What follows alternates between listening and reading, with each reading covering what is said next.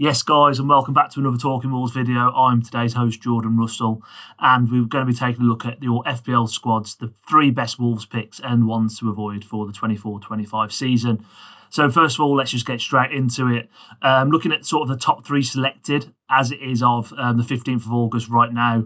Um, I don't think you'd be able to guess the first one if you hadn't looked yourself, but the first and the most picked Wolves player, funnily enough, is Nathan Fraser um, for FPL, followed very closely then by Rayan Aït-Nouri and Jose Sá. I think um, the Nathan Fraser one is a bit of a weird one. I think there's a lot of people that seen him as a four and a half million pound striker in the game, using him as a bench filler. Um, but as you know, with transfers, as values go up and down, I think Nathan Fraser is likely to go out on loan at some point. Um, I, I, know the injury and the injury concerns around Matheus Cunha at the moment might mean he might be in the squad for Arsenal but there's been a lot of SPL interest and League One interest in Nathan Fraser to go out on loan. So potentially one to watch and one I would most certainly look to avoid um, putting into my team because I think he'll decrease in value extremely quickly. Um, going on to the second most selected player, Rayan Aït-Nouri. I think you know he's marked down as a defender, four and a half million pounds.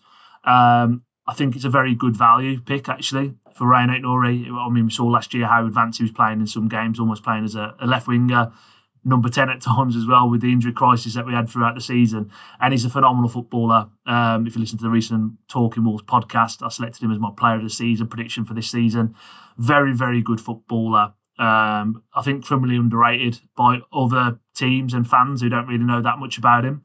Um, and definitely one I agree with that should be one of the top three Wolves picks if you're looking at Wolves players for your FPL team this season.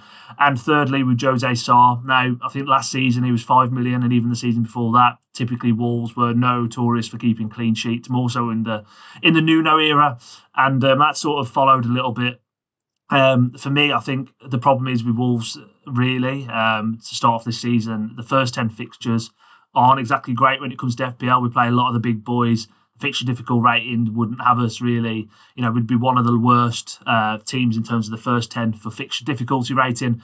And I think Jose Sá is going to concede a few goals. Um, not necessarily his fault, but I just think, you know, we're likely to concede a few goals in some of those early matches. So again, for me, another one who I'd look to avoid in those early weeks, just because I think, yeah, I think his value might get decreased when people transferring him out if we have a, any sort of bad or big defeats in those opening few weeks of the season.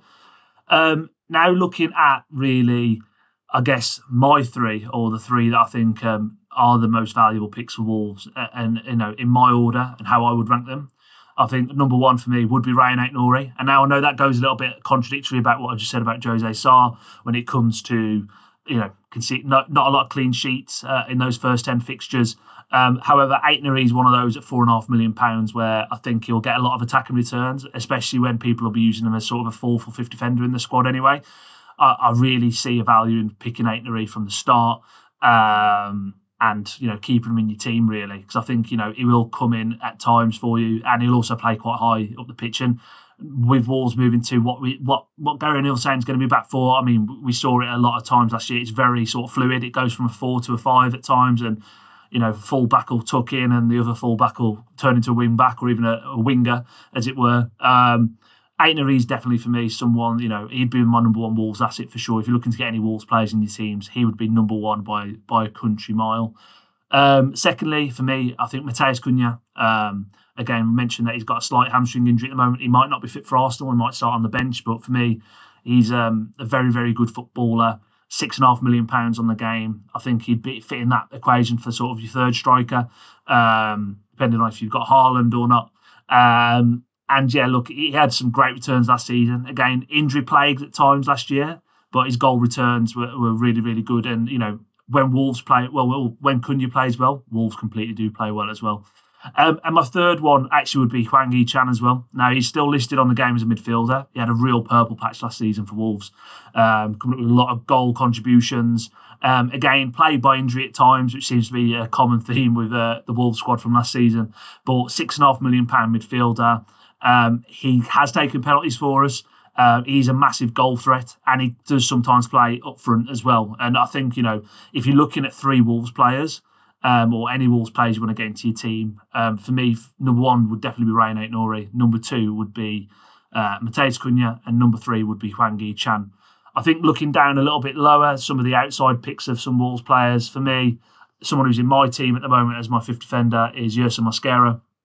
For those who aren't aware of Mosquera, he's been at the club for a few years now. He's been out on loan. He was at FC Cincinnati. He came back and he was at Villarreal for the second half of last season. Um, he's come straight into the game as a four million pound uh, defender, and actually he started all the preseason at centre half for Wolves. He's a very young, exciting defender. Very quick, very mobile, will be a threat in the box because he's quite tall. Um, and I think he's one of those really, if you want a four million pound defender to sort of bookend your team and just to, you know, save some budget and, and spend it on some of those more premium players, Mosquera is one of those ones that will definitely stick around the team. He will not, you know, I think he'll start centre half. I don't think he'll come out of the team very quickly. And some of the other four million pound defenders that you might put in might decrease in value very, very quickly with any sort of transfers out, wild cards, that sort of thing. Um, and another one I think is worth looking for as well is the new man up front, Strand Larsen. Um, he's coming at five and a half million pounds, and I think how we've been lining up in pre-season, it's been more so a four-two-three-one, more so than the traditional three-four-three uh, five three two sort of look that Wolves tend to fall into shape with. Um, Strand Larsen has been playing as that sort of pivotal, you know, the number nine, the lone striker with Matheus Cunha sitting a little bit deeper off him and making runs in off the off the back of that. Um, he could have a big season for us. I think you know our attacking output last season when we had um, a full squad of players was very very good up from previous seasons, and he I think he'll have a big season for us. He looks you know he's very you know very uh, very mobile, um, over six foot knows where the back of the net is, got a lot of goal contributions for Celta Vigo, and hopefully can bring that into uh, the Premier League for us. So that's my thoughts. All I want to say is good luck to anyone playing fantasy football. Um, I hope the Wolves players, if you do pick any of them, do get some nice returns because that means we're playing well. But please, you know, leave your comments in in the description below. Let us know sort of what Wolves players you're looking at, any funny Wolves related team names you've got, and we'll also leave a, a link in the bio below for the Talking Wolves Premier League F, well, Premier League code as well. So that's it from me. Um, see you soon on the podcast and uh, take care of yourselves.